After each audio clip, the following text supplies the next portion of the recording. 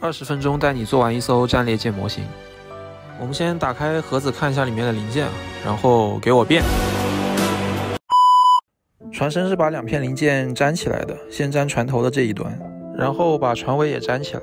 因为在盒子里放久了，船身的弧线被压扁了，所以这里要按一会儿，防止零件弹开。接下来把粘好的船身套在水线板上面，然后从内侧涂抹流缝胶。这里为了防止船身的零件弹出来，要一直按紧。从外侧也涂抹流缝胶，然后用力挤出缝隙中融化的塑料，这样就能进行无缝。在船头船尾的衔接处用瞬间胶填补进行加固，喷上催化剂可以加快硬化的速度。接下来在船底粘上配重块，这里直接挤满瞬间胶，然后暴力粘就行了。为了补强船体的连接强度，同时也防止后续船体的弯曲变形，在船体和水线板的连接处全部填上瞬间胶进行加固。刚刚白色的瞬间胶是显能，这里用的是四八零，主要是因为四八零没有装鼠尾管，挤起来比较方便。实际上用来加固，两者并没有什么差异。接下来用砂纸把水线板接合处的溢胶打磨平整，这样子船体的无缝就完成了。在底面贴上双面胶，然后粘到地台上面去。接下来准备制作地台与船体的连接，用电钻在船底和地台上钻四个孔。然后用大口径的手钻进行扩孔，中间的两个孔是用来定位用的，这两个孔的螺钉是直接粘死在地台上面的。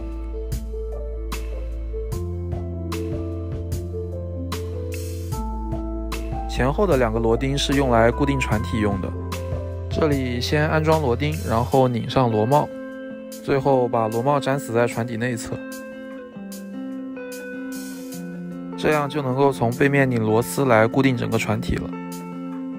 做完船体内侧的这些处理之后，就可以把甲板盖上去了。试了一下，甲板的组合度还挺不错的。在甲板和船体的接缝中涂上流缝胶进行粘合，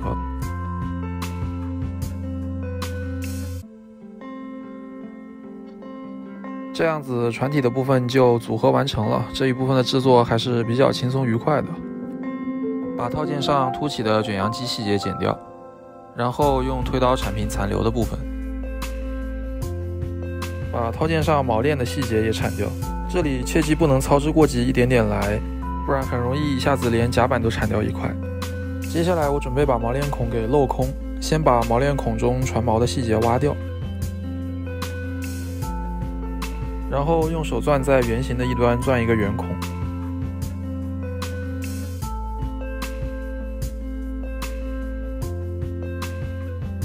前面方形的部分用相应尺寸的推刀一点点挖掉，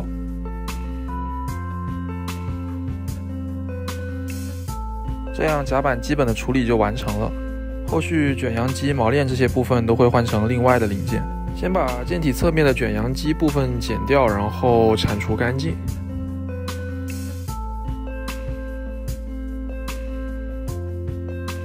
然后粘上建筑侧面爬梯的石刻片。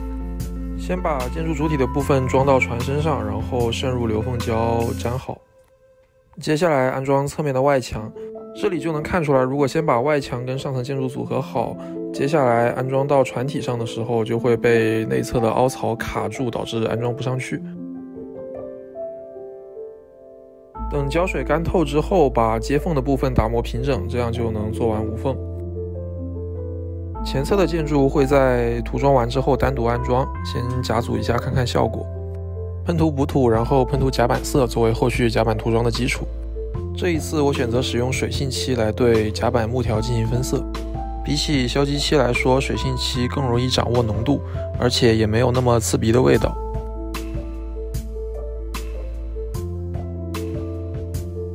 我先调出了一个偏深的棕色，然后用细的面相笔蘸取颜料。在甲板上随机选择木条进行涂装。第一道涂完之后的效果是这样子的。接下来我又调了一个比较浅的棕色，依旧是像刚才一样随机选择木条进行涂装分色。两种颜色分完之后，整个甲板看上去就已经有比较丰富的层次了。随后我又调了偏绿和偏橙的两种棕色进行分色涂装，接下来就准备遮盖甲板喷涂舰体色了。按照木甲板上层建筑的深灰色甲板、水线部分的黑色和舰体灰色的顺序进行遮盖喷涂，然后把遮盖撕掉。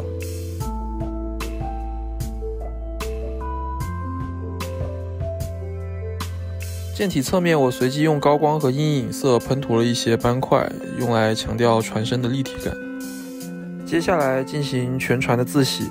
一战、二战的船都饱经战火的洗礼，所以旧化可以做得重一点。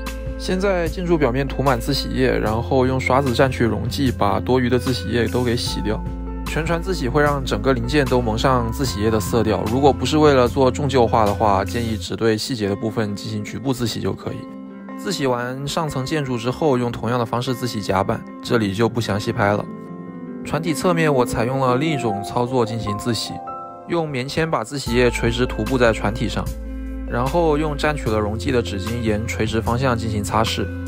擦拭完之后，自洗液就会在垂直方向上留下隐约的条状痕迹，可以用来模拟水痕之类的效果。接下来用做滤镜的方法来做水痕留下的褪色和锈蚀的效果。首先用俊士的白色自洗液做褪色的效果，在每一扇舷窗旁边都用自洗液进行点涂。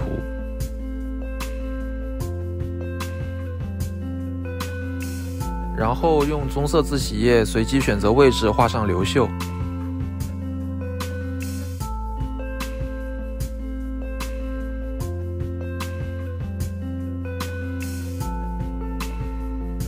自洗液干透之后，用笔刷蘸取溶剂，在垂直方向上把颜料刷开。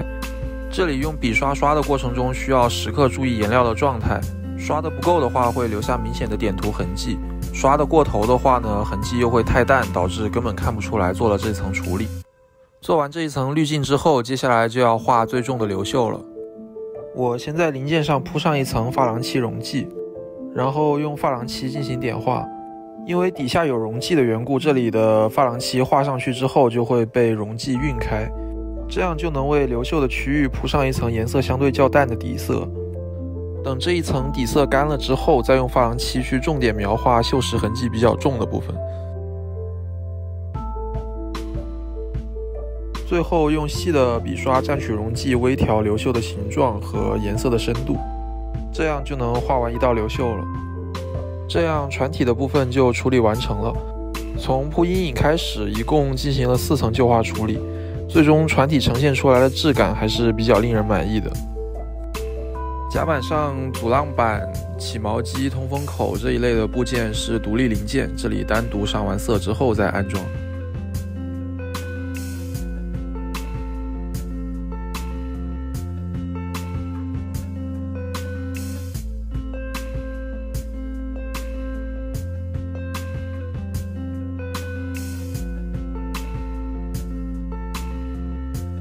之前是铲掉了甲板上的锚链的细节，这里换成单独的锚链的零件。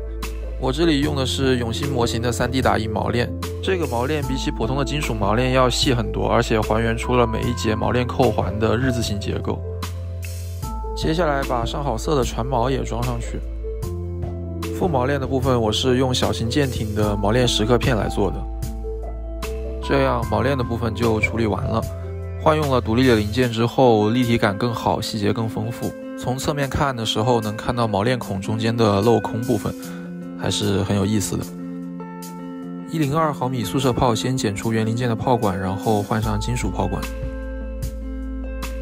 然后开始安装建筑内部的各种零件。这一层建筑内部有很多传声筒，这里也要一点点的装上去，不要漏掉了。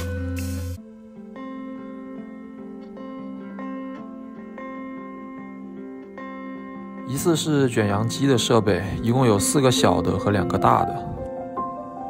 安装一零二毫米速射炮，这里一共有四门，还有一个高的传声筒，最后装。然后安装栏杆，这一层的内部布局就完成了。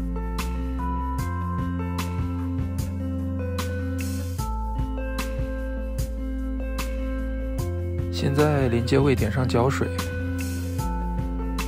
然后把涂装好的木条零件放上去。这里需要不断调整它的位置，然后分两步安装舷梯。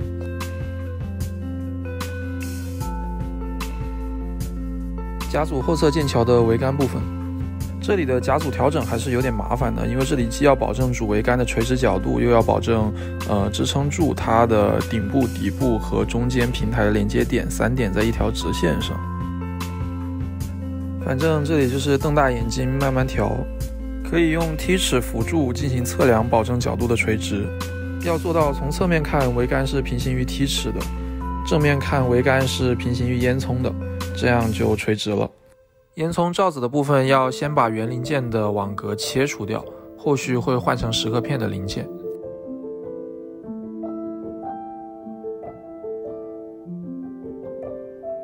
把罩子安装到烟囱上，然后装上蚀刻片。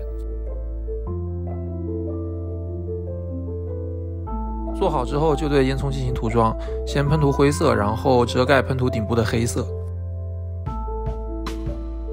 然后依次把烟囱、烟囱旁边的管道，然后还有一些呃藏室的盖子啊，呃这一些的零件装上去。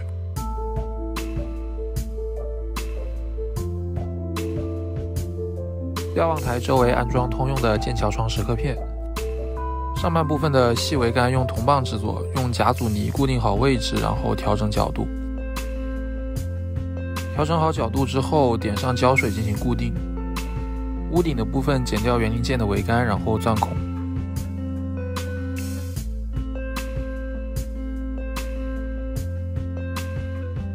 处理好之后，把屋顶盖到瞭望台上面去。然后安装桅杆顶部的横杆，这里也用铜棒进行制作。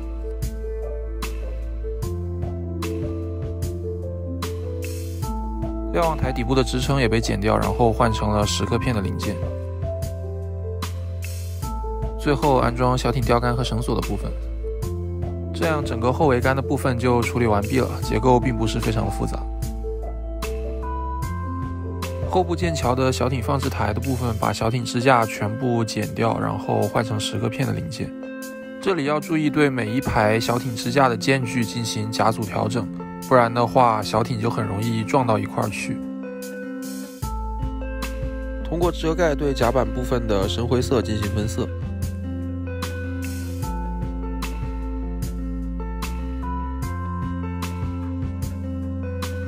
安装这一层小艇放置架上面的其他几个零件，把这一层安装到后部剑桥上面去。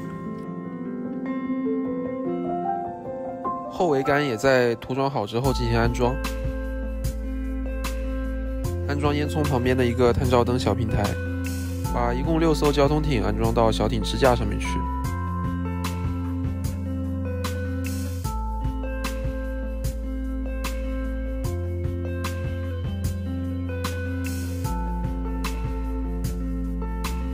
这样后部剑桥的部分就基本完成了，两边还有两个小艇的吊架，最后再装，然后还有三个探照灯也是最后再装。无敌号的结构乍一看并不算复杂，但是细看之下看点还是非常多的。把前剑桥的部分夹组了一下，前剑桥的结构整体上是比较复杂的，中间有四层平台，其中第三层平台呢是整个替换成了蚀刻片的零件。主桅杆则是从上面三层平台中间穿了过去。在这种情况下，通过甲组调整各部分零件的角度，然后包括构思后续的安装顺序是非常重要的。甲组完之后呢，从正面看的话，基本上两个桅杆是完全平行的；从侧面看呢，主桅杆也基本上是垂直于船体的。剪掉瞭望平台底部的支撑，然后打磨干净。安装蚀刻片观察窗，然后粘到桅杆上面去。屋顶的部分把边缘剪掉，然后打磨平整，然后盖上去，调整位置粘好。把底部支撑的蚀刻片也粘上去。下层一个圆形的平台也重复类似的操作，把底部的支撑换成蚀刻片。安装桅杆上下垂的缆线。桅杆顶部这几根铜棒的安装方式基本上跟后桅杆是一样的，所以我就省略了。桥第一层需要粘六段栏杆，两侧的平台也是蚀刻片做成的。八门速射炮除了更换金属炮管之外，也要跟罩子进行组合。第二层平台把小艇支架换成蚀刻片，然后粘上两侧栏杆。两个烟囱采用跟后部烟囱一样的处理方式，把烟囱罩子顶部的网状结构换成十个片的零件。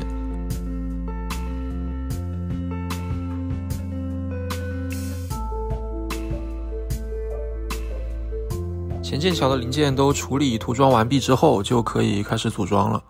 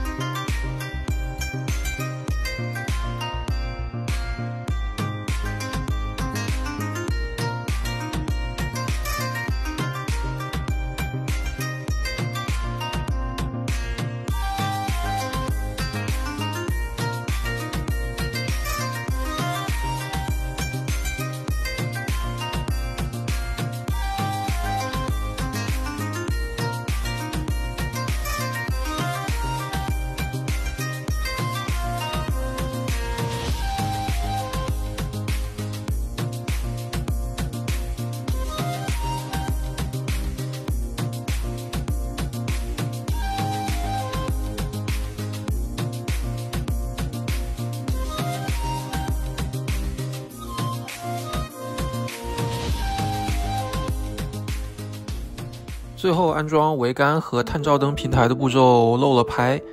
总之，前剑桥这样子就大部分都完成了。粘长栏杆的时候，先粘住其中的一端，然后慢慢调整后面的栏杆的位置，然后涂抹胶水固定。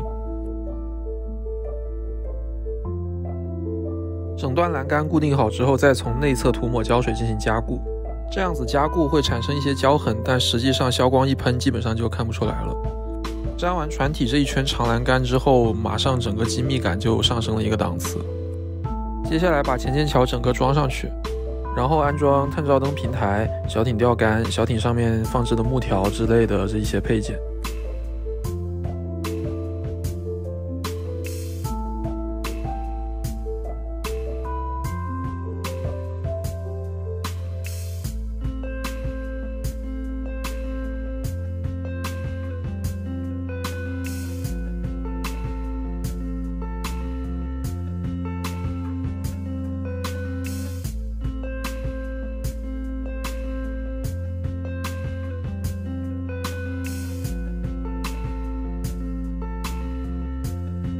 船身各处的小钓竿也逐一安装上去，这里一共有各种钓竿八处。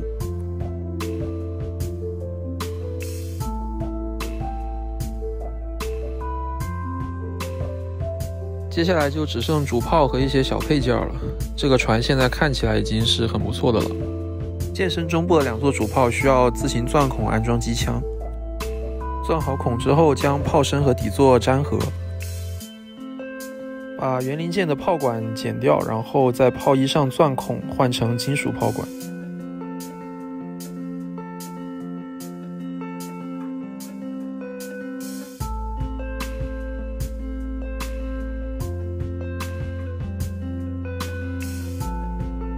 把小艇吊架中间十字形支撑的部分剪掉，然后换成十个片的零件。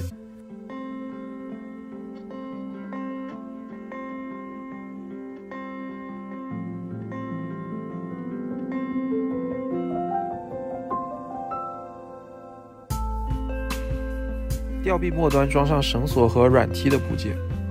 炮身涂装完毕之后，把炮管和速射炮都装上，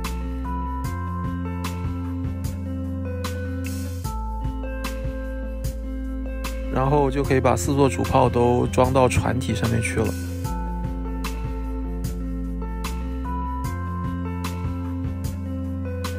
探照灯中间的部分用电镀银进行涂装。然后把探照灯安装到剑桥的各个位置上面去，一共有十个探照灯。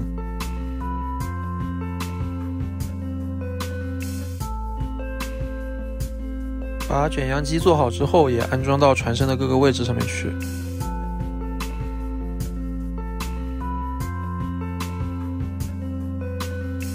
把小艇挂到小艇钓竿上，然后装到船身上面去。最后安装见首见尾的旗杆，这样就不容易被碰坏了。在旗子中间夹一片锡纸，就可以塑造出更生动的迎风飘扬的形态了。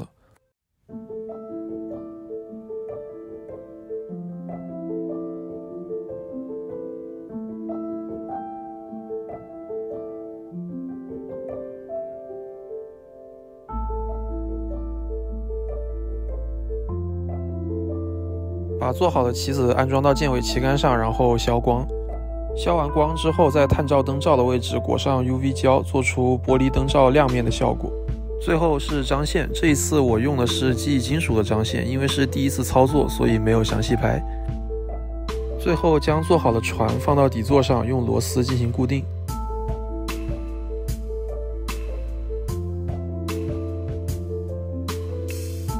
这样无敌号就做好了，各个角度给大家欣赏一下。